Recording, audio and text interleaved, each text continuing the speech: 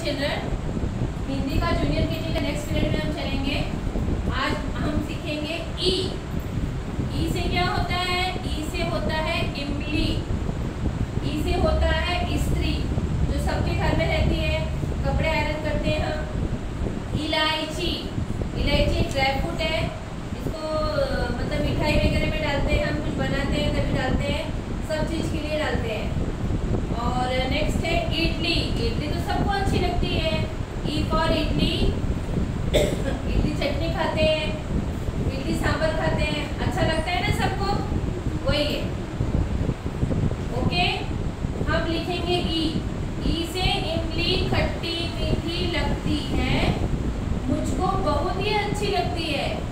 इमली इतनी खट्टी रहती है और इतनी मीठी रहती है। हम ऐसे तोड़ के खाते हैं। सो बहुत अच्छा लगता है। इमली का नाम सुनते मुँह में पानी आ गया। हम ये कैसे लिखेंगे आपको बताऊँगी पहले मैं आपको बताऊँगी कि वर्क बुक में कैसे लिखना है लेटर है ई ई से इमली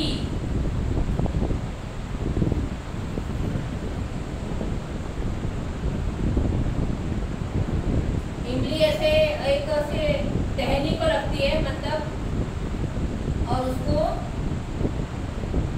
ये इमली का पिक्चर दिया हुआ है ये ऐसे सीड्स रहते हैं बीच में। सीड्स मतलब बीज। बीज रहते हैं उसके। उसको अटैच ही दूसरी भी इमली रहती है। मतलब ऐसा बंच रहता है पूरा। मम्मी लोग सब्ज़ी में भी डालते हैं, सांभर में डालते हैं।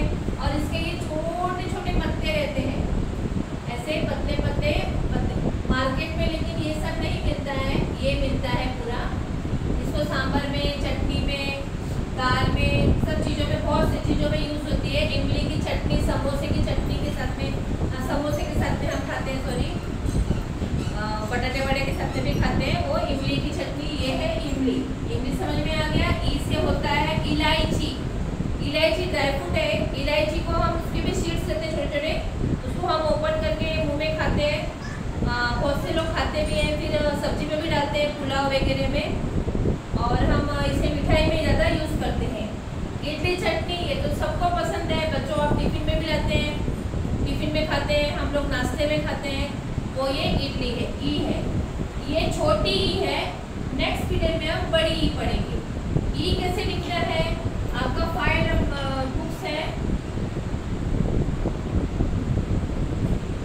फाइव लाइन्स का थ्री फोर फाइव ऊपर का रेड लाइन है इसे हमें नहीं लिखना है नीचे का भी रेड लाइन है इसे भी हमें नहीं लिखना है इंग्लिश में हम यूज़ करते हैं हिंदी में हमें यूज़ नहीं करना है ई के हम स्टैंडिंग छोटा बनाएँगे। फिर यहाँ पे छोटा स्टैंडिंग लाइन बना के ऐसे टर्न करेंगे फिर यहाँ पे छोटा करके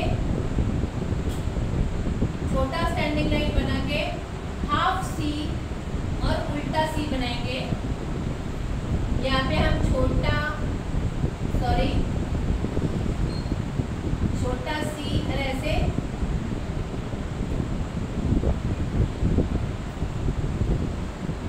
ऐसे बनाएँगे फिर ये आपका वर्ड इमली का कंप्लीट हो। ई से इमली ई से इमली। ये ड्रेसिंग करके लिखना है नोटबुक में मैंने लास्ट पीरियड में आपको बताया था सिंगल लाइन डबल लाइन आपको नहीं लिखना है नीचे की लाइन में भी नहीं लिखना है बीच की लाइन में लिखना है तो आप ऐसा लिखेंगे standing line small half C पूरा सी लिखना है छोटा वाला फिर उल्टा सी लिख के ऐसे कंप्लीट योर सेंटेंस ऊपर लाइन दे देना है हमें फिर से स्टैंडिंग लाइन स्मॉल सी उल्टा C then you turn your okay E E से इमली ई से इमली हमेशा कोई भी लेटर इंग्लिश हो या हिंदी हो you can say and write हमेशा बोल के ही लिखना है उससे आपके दिमाग में रहता है ई से क्या है मैंने आपको आइडेंटिफाई किया है इमली लिखा है सेम कंटिन्यू आपको होमवर्क करना है ई का एक पेज मम्मी लोग वैसे फाइव फाइव टाइम लिख के देंगे फिर नेक्स्ट पेज पे आपको लिखना है अ आ ई। ये तीनों लेटर लिखना है। हमने फ़र्स्ट लास्ट पीरियड में आई लिखा था एक पेज होमवर्क लेकिन हम आगे आगे जाएँगे तो आपके वर्ड्स आगे आगे आपके बढ़ते जाएँगे। तो आपको ऐसे ही कंप्लीट लिखना हाँ, बस्ते वाला मैंने आपको सिखाया था। मेरा बस्ता, मुझे प्यारा रास्ता। सॉरी बस्ता तो वो आपको वो भी बायड करना है, क्योंकि ओरल एग्ज़ाम का भी शायद होगा नहीं, लेकिन आपको ये पोएम्स हिंदी के छोटे छोटे पोएम्स आने चाहिए। नेक्स्ट पीरियड में हम जल्दी मिलेंगे। ये कंप्लीट करना है। इसके नोट्स तो नहीं मिलेंगे आपको। नोट्स मिलेंगे तो वैसा इन्फॉर्मेशन आपको आ जाएगा।